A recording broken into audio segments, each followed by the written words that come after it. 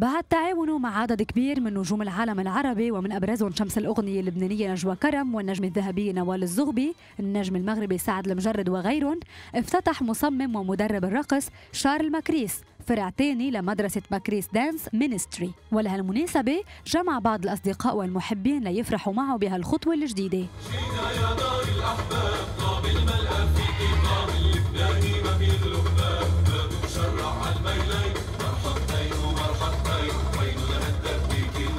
هي افتتاح لفرع تاني لمدرسة آه، ماكريس Dance Ministry اللي هو أنا ال artistic director تبعها.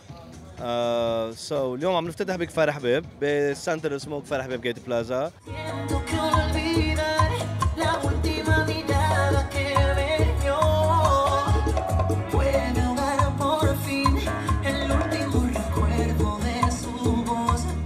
ماكريس اللي بيحرص على نقل الصورة الراقية والمحترفة للرقص من خلال تعليم هالفن حب إنه يتوسع بنشاطاته ضمن المناطق اللبنانية.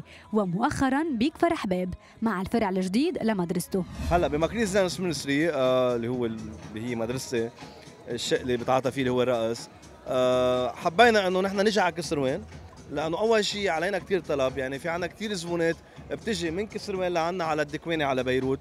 وعم يتعذبوا على الطرقات عم يبقوا ساعات على الطرقات بعجقه تصير كلنا بنعرف العجقه سو so, uh, كثير انبسطوا إنه نحن جينا على كسروان ونحن مبسوطين أكثر لأنه أنا كسروان وخاصة منطقة آه، جوني وكفر حباب وغزير أنا ربيت بهيدي المنطقة آه، من أنا وصغير وكثير بحبها وبتعني لي كثير وكنت عارف إنه جاي يوم إني أنا إجي أفتح فرع بكسروان وكثير مبسوط اليوم. وجوه فنية عديدة حضرت هالاحتفالية وهنأت شارل على خطوته الجديدة. على أمل التوفيق يكون حليفه خلالها ودايما يقدم لنا إبداعات جميلة ولافتة بعالم الرقص والاستعراض. كل إنسان طموح وبيحب إنه يكون مميز بيتعب.